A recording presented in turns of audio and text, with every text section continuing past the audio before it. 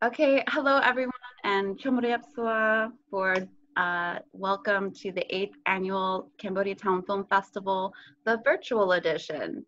Uh, we thank you for joining today's panel, Memory, History, and Documentary Filmmaking, Part 1. Please join me in welcoming some of our incredible filmmakers. We have Davy Chou. Hello, very nice to be here. Uh, Davy is a critically acclaimed French-Cambodian filmmaker, most notable for his documentary Golden Slumbers and his feature Diamond Island. He's also worked with students to encourage the new generation of Cambodian filmmakers. We also have Arestia Rosenberg. Sustai, happy to be here. She is a filmmaker with over 10 years of experience in film and television, branding content, and media. She's traveled all over the country and the world producing inspiring short documentaries, and she is the director of Tiny Toones. Uh, we also have Linda Saphan. Thank you for having me. Looking forward to this discussion with all of you. Great.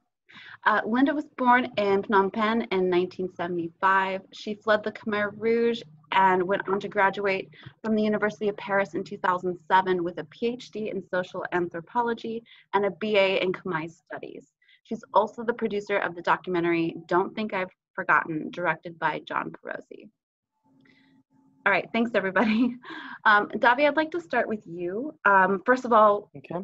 wow, Golden Slumbers uh, is really a tribute to the filmmakers of the Cambodian filmmakers of the golden era. Just it was so beautiful. Um, and we, I think many of us know how many, how few films were actually survived uh, the regime, mm. but um, your documentary really captured the total loss that occurred, and it really did so in a beautiful way.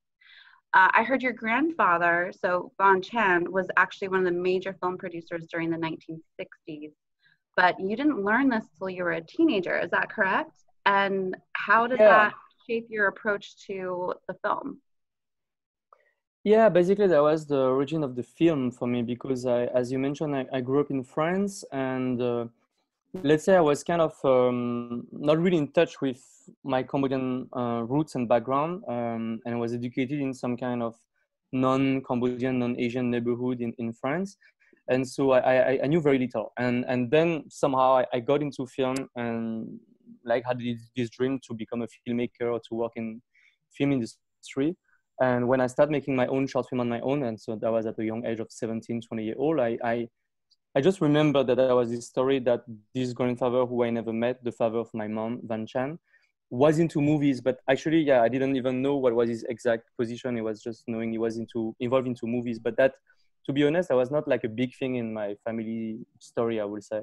Also because wow. again, we, we knew little and so wow. i started asking questions yeah and and it's when i talk to my mom and talk to my aunt and sit and really ask direct questions that i understood that it, it was a big thing cambodian cinema in the 60s before the khmer rouge and that my grandfather was really involved but it's only when i finally fell into a blog that was at that time uh, managed by a cambodian man who, who his name is Hui Vatana, who moved to France after the Khmer Rouge and was maybe like the biggest movie lovers of Cambodian history. And uh-huh. he was having that blog where he was writing all the biography of the actors, of the directors, of the producers. And he was this treasure of information that you could find absolutely nowhere around and not in the internet, nowhere. There was not like solid text about that. And that's how I discovered that Van Chan was considered as one of the biggest producers. So that was very strange to me. And that was kind of the moment where when I decided to go to Cambodia for the first time, that was in 2009, I was 25, with the idea of let's see if I can make research and maybe at the end there's going to be a film. And, and very honestly, at the beginning, I was thinking maybe kind of classically to make a documentary about my grandfather. It's going to be something about that grandfather who I never met. But it was when I was in Cambodia meeting the very few survivors of that time, directors, actresses, that the the movie um, translated or switched into something else that was really about a documentary about the lost memory of the golden age of Cambodian cinema. Yeah. Wow. And what was that process like to to go to Cambodia for the very first time? You'd never been Yeah. there and you're trying to track down like the very few people left. What what was that like? That was crazy, and um, it obviously was a life-changing experience to me because now I, I it's been ten years now that I, I live between Paris and, and Phnom Penh. But uh, at the time, I was very young. I was very naive. I knew very little. I couldn't speak my I, I knew very little about my culture and Cambodian Oh, wow. history. So I was very that kind of blind um, guy who was more French than Cambodian, I would say. And, but in the same time, I never met any of my grandparents. So I spent so much time with them that we very really built some kind of very I would say honestly family relationship and and also they all knew my grandfather so they kind of adopted me in a way very quickly. And it was all after about getting to know them but especially um, feeling when they are ready and when I am ready especially to make the film because there was something to be kind of close but some of them I want to say the directors and the actors couldn't really understand what was my project because they could see how ignorant I was on the history, ah. I would say. And it was really after somehow of one year of getting to know each other, spending time, and not only on the research of my documentary, but really like family time and spending time together, that I felt that they were ready. And when I say, okay, I would like to film you, and you can tell me the story that you used to tell me when I go to dinner at your place and stuff, and we'd make the film. So that was really a very long, progressive human process, I would say, but extremely enlightening and, and, and, and rich to me, who was kind of yeah separated from that history I just want to add something. Uh, Davy uh, says, uh, you know, the few uh, surviving people that are um, in Cambodia. But it's not just about uh, the survivor in terms of the person, but the, the, the artifacts, the, the, the film themselves, the magazines, yeah history. Uh, one of the challenge when you're doing doc, uh, research or work in Cambodia, you have to speak almost three language, Cambodian, French, and English. And then you yeah. Actually be willing to travel because a lot of this memory, um, the people themselves, but those who actually brought with them the, in, their luggage, their album uh, family, the cassette, the tape, whatever, and they move, they immigrate to Canada, to France, to America, to uh, Australia, and the, the, the, yeah the, uh, the any research in Cambodia almost required to follow the migration too, not just actually only the local. So that's one thing I I felt yeah uh, it seems like what Davy says about his film is also for I Don't Think I've Forgotten. The need to go beyond than just the local and do research beyond uh, what is available in the archive. Absolutely. yeah, I- I think it does relate with, with your research. I think that uh, in, in, in my process of doing things, uh, it definitely had this uh, kind of temptation to, to, to go also see what's going on abroad. And there is some survivors also of that history abroad. But I follow an intuition that I wanted really the, um, the research and the, and the film to really take place in, to take place in Cambodia. And I, I think it's because at the end, the film is not so much like about the history of Cambodian cinema as full of like information. There's not so many information I have in the film at the end, but it was really about kind of abstract, formal question about the film has disappeared. We can't see them anymore, but do they still survive in a way in the country where they used to be? And that Hmm. brought me to film all places where used to be film studio or theaters, but they all turn today into restaurants or squats, habitation or karaoke, but to try to to link the memory of the few survivors in the country and then the amnesia maybe of the places and to bring them together by the editing to see if there is some kind of yeah some kind of bridge that could be created by the editing through the film basically right yeah Yeah, that's one. That's that's beautiful. That's beautiful. Um, well, going on that too is like you have these films that were lost, and a lot of them were, you know, there's beautiful works of art, and then there's also, you know, some of like Crocodile Man, who's kind of a B Yeah. movie.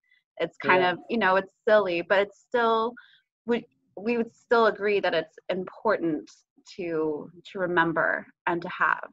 Yeah, well, I, I will say personally that obviously the, the first feature film produced by a Cambodian director was supposedly made in 1960, which is so late compared to mm-hmm. other all the other countries, I will say, except for ah. African country or Laos. So there was kind of a very late emerging film industry that, for me, historically speaking, is absolutely fascinating because you have young people of 20, 25 who didn't go to any film school and then just take 16 millimeter camera and they go back to the spirit of the early yeah the early invention of cinema by Georges Méliès or, or the Lumiere brothers so it's full of effects full of very naive ideas so basically it was also a semi amateur um, Oh. film industry because obviously it was just starting but having said that you had directors who really had like a very very strong instinctive talent that really their film were really comparable to big films and, and, and amazing film from that time. I, for example, I think of Tea Lim Koun, um, the Cambodian director who moved to today Montreal, Canada, and he made The Snake Man. That's his most famous film. Mm. But also film like White Lotus. And when you watch this film, because he, he could save some of his films, the grammar, the visual language, the story, it's extremely um, crafted and very very good. Yeah. I think that's the one thing for me in any field, whether it's in film, in uh, novels, the, the Cambodian novel, the, uh, the concept of writing in prose, it started in, the 30s, 36, uh, and it's really very Buddhist. And painting and all these art form that emerged, um, it has, it's just basically, Mm. and then it was disappeared or it was destroyed or was forbidden. And then, then you have also not just the end of the Khmer Rouge, you have all these era, right? The, uh, uh, of um, the uh, Vietnamese presence that actually, you know, still struggling. Then you have also more civil unrest. So you have a long period of time. To me, it's like what is happening. Uh, well, actually, around year 2000, uh, uh, the emerging explosions of all these possibilities, as if like they are picking up where it was, but where it was compared to Thailand, compared to it's very very behind, but the catching up. And I, I thank God for I guess internet and YouTube and all these things that allow them to actually, uh, I guess, absorb all that is available for them to learn. That is fascinating how much um, the resiliency of the artists in Cambodia have been able to um, caught on on uh, and uh, at this really short amount of time pays up to what's uh, happening with the rest. I will say Mm. just the little that I know, and it's really wonderful to hear you share your story, Davy, um, and and hear that perspective, Linda. I my film premiered at the Cambodia Film Festival in March, and my local producer Chenda Yen, she was introducing me to you know all the filmmakers and Yeah. writers there, and they were so young. She's like, "This is like Yeah. the hottest writer right now in.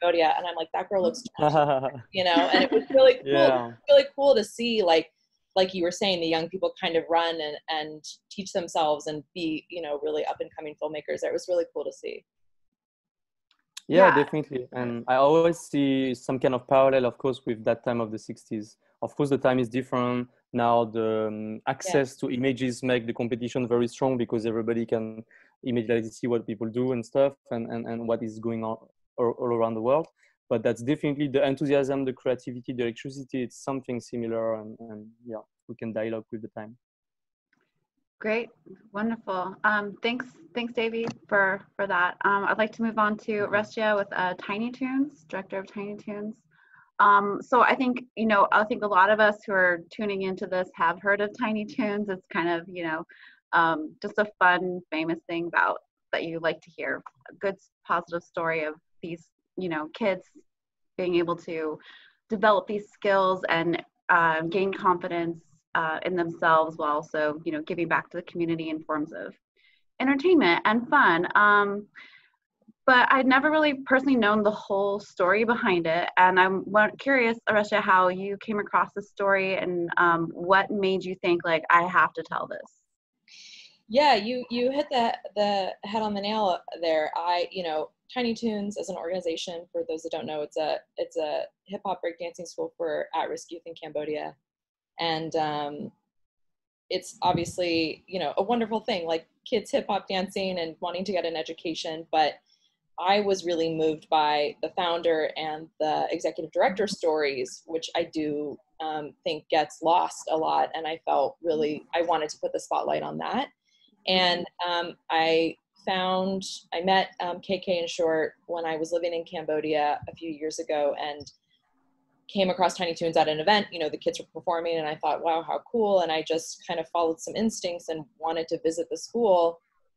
And I was there one day, and the power was out. So, you know, the dancing was on hold. And as I was standing there and, and talking to Short, um, I, I said, hey, your English is really good.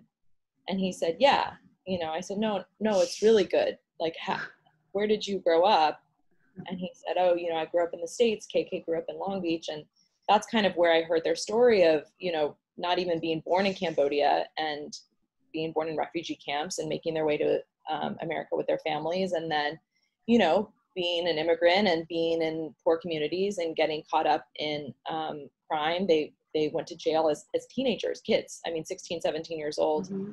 And then were deported because of those crimes back to a country they'd never even been to and I was just really moved um, by that story, and and especially with immigration being a, a hot topic in um, mm-hmm. states, you know, wanting to shed a light on that as well, and then not only that, but you know, going back to um, you know your country, but instead of uh, or not, I mean, you know, your country, your her- your heritage country, again, not even being born there, but um, you know, deciding to make the best of it and also give a shot to kids. And as KK says in the film, he says, you know, I thought I had it bad, but these kids here have it worse, and trying to give opportunity to to someone like him where he felt like he didn't have it.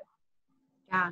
Wow. That's yeah. I I really enjoyed hearing hearing about that because again, yeah. most of the time it is focused on the kids, so they are pretty yeah. they are pretty fun, aren't they?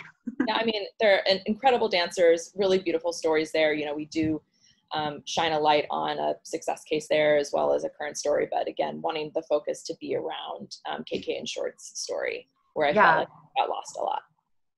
Yeah, there's been more um, deportations uh, in the past six years than ever before, and uh, we won't get into politics, but but yeah, it's been it's been a lot, and I think uh, a lot of people have had that. Um, everyone, I think, in like around Long Beach in the Cambodian community knows someone that was deported for something very small and they have to pick up and uh, change their entire life. But you know, I don't want to go into politics, but I do want to discuss this. Is that okay. um, in the 80s, when uh, you know after the Khmer Rouge happened, a lot of the um, uh, American and the senators said we have to do something for the refugee, and they have the, created this special status and that allow them to come without all the uh, paperwork and everything. Mm-hmm. But they give them a path to citizenship. So you have these people who arrive. Mm-hmm saying that in no way uh, possibility for them to ever become citizen. And there's other things with all the change of government, uh, the idea that um, what is consistent of a felony, um, possession of marijuana is one thing, and you could be actually deported because you have a few um, gram of uh, marijuana, and, and that changed wow. Uh, the, the restriction and make it even harder and giving more power to ICE. Uh, I think it was last year they actually expanded the number of uh, Vietnamese uh, and Cambodian to be actually deported. And right, it's saying like they're not even born there. I remember my document. I, uh, I was born in Cambodia, but we went to uh, the refugee camp in Cao and I still have the my immigration form and say uh, country of birth. It says stateless. I had no like. How do they decide to deport me to Cambodia? Except for the a document, official document, say I have no country, right? So it's really uh, uh, it's not politics, it's a social issue that we need to discuss to say, refugee, how do we decide to welcome them? And then suddenly we are not changing our mind because um, this is not, this, this must be a human way here in America and in terms of how do we deal with refugees. Yeah, and Linda, like you said, you know, they didn't have any support. You know, KK talks about no one told them oh this is a green card but it's not a fully fledged citizenship like you need to yeah. this is what you need to do to get no one told yeah. that he didn't know you know his mother is a citizen now but only when she lost him and same with you know his parents were afraid to leave the house like nobody told them really how to live in this new country they had no support and um, you know short talked about there was a church that sponsored them but it was you know this weird arrangement he felt like they, they'd like work on a farm it was almost like strange um, labor rules and things like that. So, you know, I, it's just, yeah, the lack of support here really was, I think, the key in, in being successful in a new country, you know, and, and yeah. there's a lot of stigma. I mean, different term like Cambodian returnees. Cam- so you have the Cambodian who went to the refugee camp, they came back. That was in the 80s, 90s, and they were totally rejected by the Cambodians saying, "You have failed. You have failed to go to another third country." Then you have these returnee who come back and they're even mobbing and, and the, stigma of them and the social reintegration is so i mean i live in cambodia uh, uh, from 2001 to 2008 and when i think about the struggle and i went back right i started to go back since 1993 when i see uh, actually one the house i rented the, uh, a lot of the uh, um, the Cambodian returning wanted to re, uh, resublet the house from where I was. And I met them and I just go, their struggle to actually be accepted by the community, the people there, they don't see them, they don't see me as a Cambodian. They see me as a Japanese who speak very well Cambodian. Mm. They definitely don't see KK as a Cambodian. And that is yeah. Like, language, just looking at the appearance. And they said, you know, they were able to meet each other through a reintegration program back in Cambodia. I think there's some some 700 um, returnees that were deported back there, and you know, little things like you know, shorts like I didn't have a I didn't have a an ID, a Cambodian ID. Like you know, mm. I mean, just really the double struggle of coming back, as you said, was just really tough. Mm. Um, so, Areshia, was there anything like you have you were able to pack so much in but was there anything that you that didn't make it to the final cut that you wish you had been able to explore further about their stories yeah definitely you know it was a, a 16 minute film that i think my first cut was 58 minutes so you know, it was as always a lot of work to kind of pare down i think just you know a little bit of what i explained here today just wanting to go deeper on the details of of what it must have been like to you know be in a new country and growing up there and then reintegrating back. I think mm.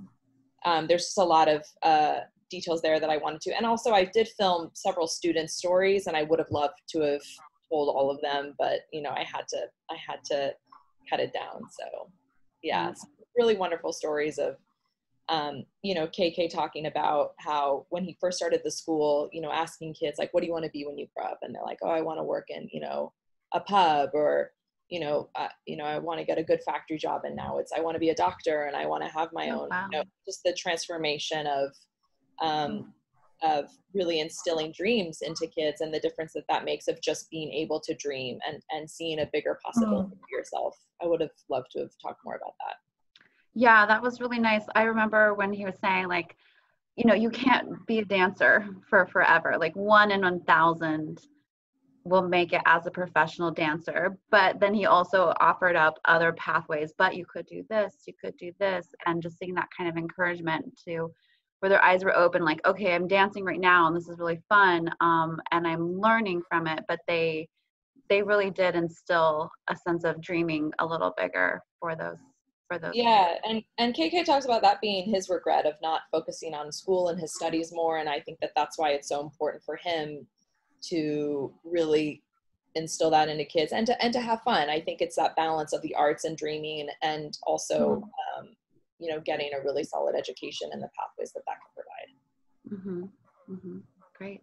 And what would you say was like your biggest takeaway from from the whole experience of of filming and creating this?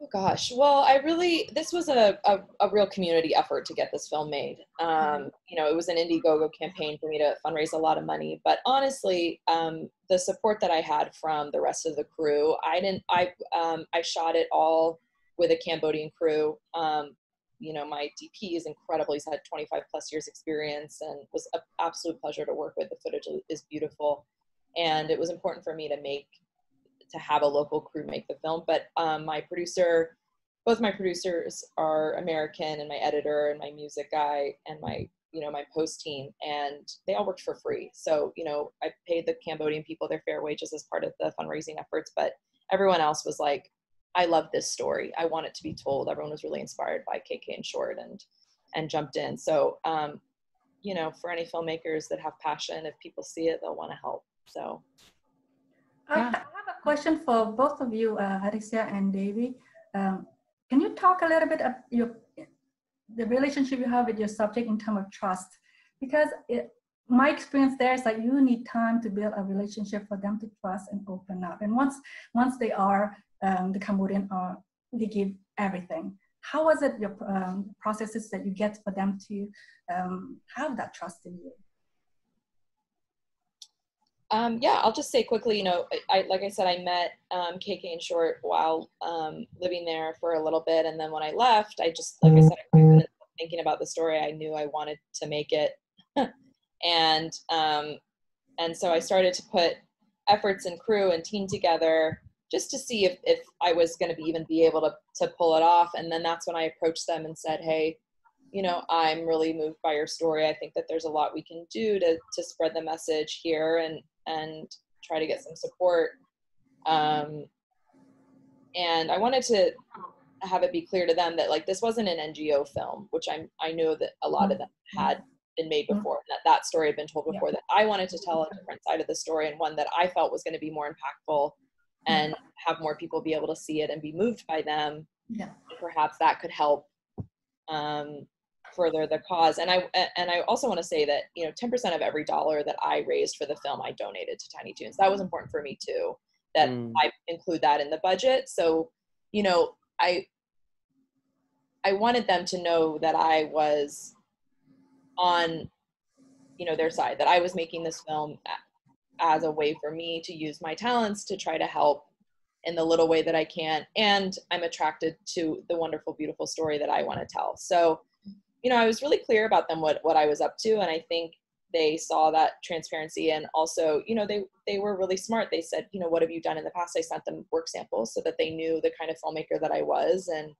and, um, and I was just very transparent the whole way um, and they let me hang out at the school for a whole week and have you know they were really great about giving me access to what i needed yeah in my case uh, as i was saying i think it took me some time to get that trust and also some time to understand what was going on exactly because again i, I got some very easy relationship and close relationship with the four main protagonists of my film the three directors and the one actress Elisabeth. but but when I was starting to talk with one producer, especially Liu Sring, about filming him, suddenly he started to panic and say, "No, no, no! Why you want to do that? That's no, that's not that's, that's not a good idea." And another one, Yvon Hem, who today passed away, um, he was extremely close to me. He was telling me many stories, but all, all the time I wanted to tell, to ask him questions about the past, he would kind of reject that to say, "Why you always obsessed about the past? That's not so important. That we should focus on the future." And I was kind of confused and not understanding really when mm. I was like bringing a new uh, old poster from him that I knew he didn't have, and he was not so excited to see it. So actually, that trust had to go through the fact to, for me to understand them, and I had to understand where this um, reserve and distance came from.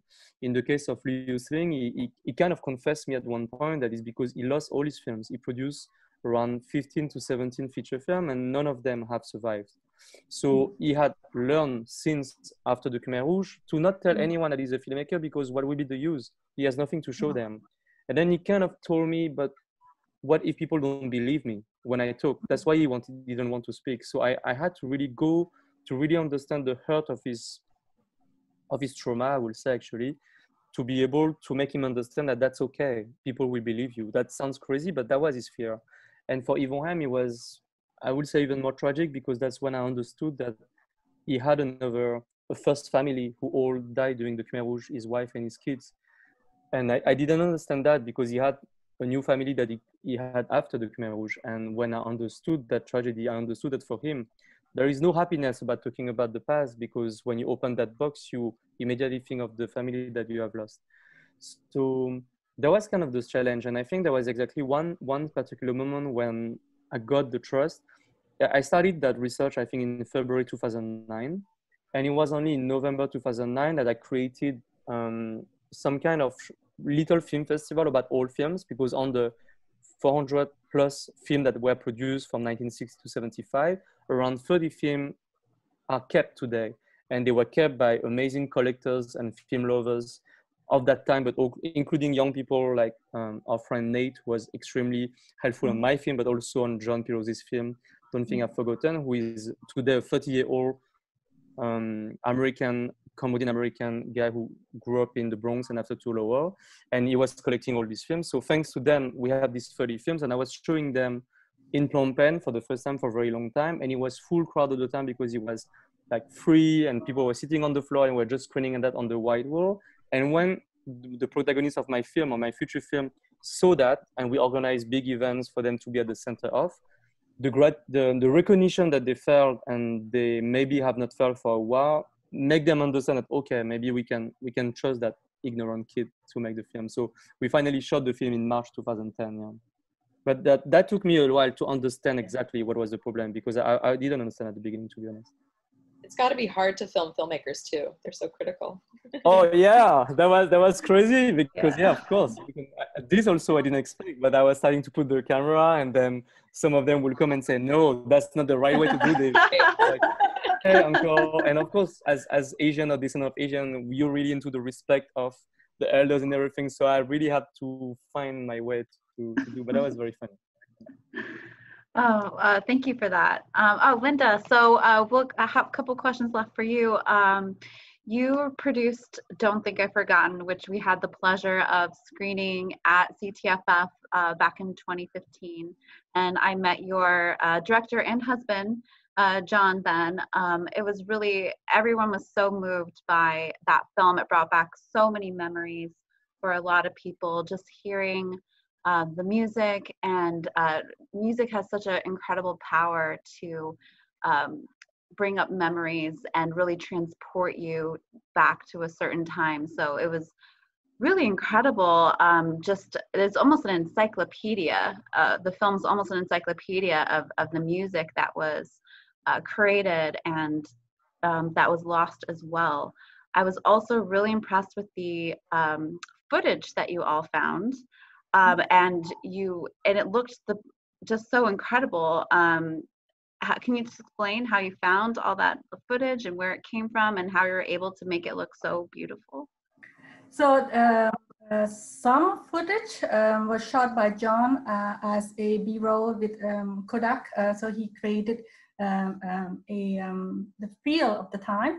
But a lot of the footage that we found uh, were from the um, Institut National des Archives in France in Paris, and um, um, I have some frustration toward. Um, um, I'm really happy French have uh, uh, a lot of the archival footage, but many of the archival footage we found were uh, TV productions from uh, Cambodian, right? Cambodian uh, TV show, uh, news anchor, and all these things. These are just produced by Cambodian for Cambodian television, all these things. For whatever reason, the French people have archived it. So when we make the film, we have to pay full price to use archival wow the French people did not produce, right? And anyway, uh, on this point, they have actually, uh, so we had to go back. Um, French doesn't have like in America where we have fair usage. So if you use like, uh, you know, you see some anchor um, from uh, uh, Michael um, Concrete uh, talking all these things, we could actually have this use free. Uh, NBC gave us that for documentary film, but not in France. We, we didn't have that. and then we have to, this is the um,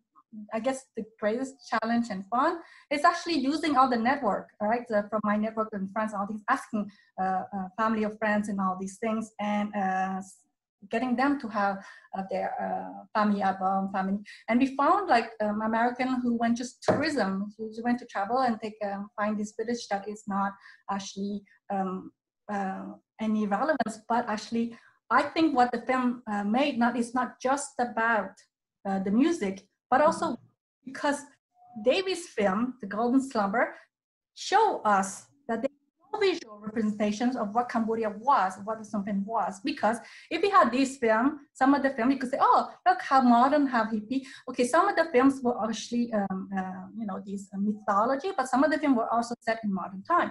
But because we don't, mm. Cambodian doesn't have a um, a image memory of what it's like. And the film was trying to actually give them a sense of what it is um, look like. And I, I, I know a lot of people and the elderly, as we shown, have different experience to the music, of course, but mm-hmm. also like the the the, the, mm. wearing her white uh, white you know boots, uh, go go, and all these things. one of them remembered that that was a fashion of the time, having the Vespa, right? Yeah. You went to rent a Vespa because everybody talked about the Vespa back then and and that's bringing that that memory you know because uh, Davy talks about how the filmmaker don't want to talk about the past because the past has always been not always a positive one. And and and you know the nothing have forgotten has no surprise ending right? We, okay. we know what's going to mm-hmm. end.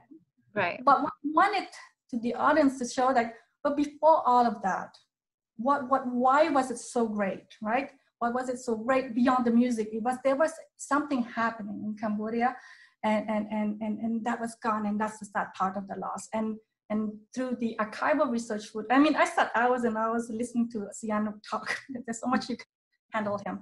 Um, but listen to all these allow us to capture every aspect of it um, and give back the Cambodian a visual narrative, their, their own story of their own city. And, and, and, and, and I think that was when we did this tour, because we did, we brought, we have giant and floated uh, screen, we go to tour from province to province. And you know, most of them not even listening. They're all chit-chatting Cambodian. That's what they do in the cinema. But you could see the visual. Uh, I, I, remember one woman. She was uh, talking on the phone with her daughter. Said, "I'm coming home. I'm coming home." And she's sitting there, and she keep on saying, telling to her daughter, like, "Oh, this is amazing. Look at the dress. Look at the image, right?" And and and and I think to me, uh, one of the pride is giving back that memory of uh, uh, for the older generation and for the younger and Davy is right when saying that some people they won't believe, and some people, some younger one, won't have a hard time believing that the Khmer Rouge actually existed. You go to certain province, they just go like, that is not because it was not taught until 2009 in uh, school. The textbook was not acknowledged. So they started to think this is a myth, and, and it's so important that we give them back a visual representation, even though we didn't go through much of the Khmer Rouge, but to tell the story I think that's why the film took so long. We tell two story. yeah. And the political history of the country to give that sense. And that's why the history of the country, there's a lot of books done. The, the history of the music, that was a part that we struggle more. And building trust, like Davy uh, and all of you talk, um, it was really hard because of, um, so we have some people, they're not in the film, they survived simply because um, they're not, they were too traumatized and we didn't feel comfortable pushing them. Some other people, by the time we found out who are, they are, uh, where they're locating them, they passed away.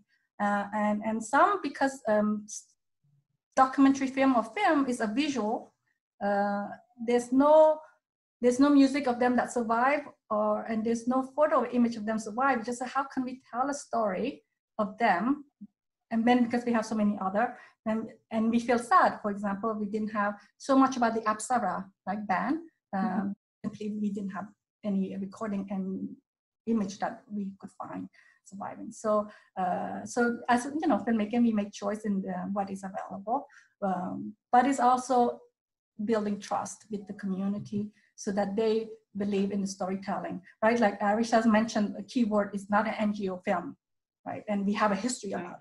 A problem right. and a relationship to that. So it's not about saving them and all these things, but it's just treating them as artists not as we are there to save them. And by that, we give them dignity. That's beautiful. So uh, we're gonna wrap up. I have one more question for you then, Linda. Um, looking at the past and this time capsule that you've created and the importance of remembering that history, looking back now, what would you say to um, future Cambodian filmmakers who want to look at the past but also um, bring it to their art today?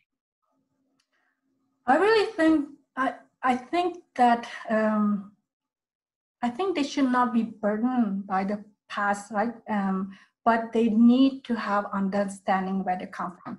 Um, now, Pen in Cambodia has um, uh, all these new organizations, uh, whether it's non, um, you know, profit NGO, whatever, uh, for the arts, and I think they always say, we are the first one to do this. We are the first one to do the festival on this. We are the, and please do a bit of research. Like Rayom did it maybe in 2000, uh, 1999, the first collaborative exhibition. So if you understand what have done before, it's not a competition. You get that information, you get that uh, wisdom, get that experience, and then you could do something more interesting. So telling a story, uh, you, you know, feeling that I think Cambodia is like you never have that feeling that you have maybe in the West where you feel like everything's been told. I think Cambodia is like so much, so much more to tell.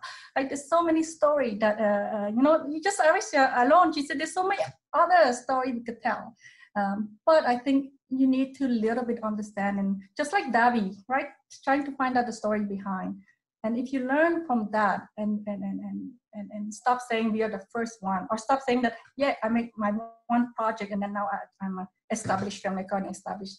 Um, I think it's a lifelong journey of learning and and and, and discovery so and and and tell your story whatever um, you know whatever your budget whatever the means um, the more you tell the story, the more we will be able to have an understanding and, and love it. And then you could improve on your process in the art form and we get to hear it.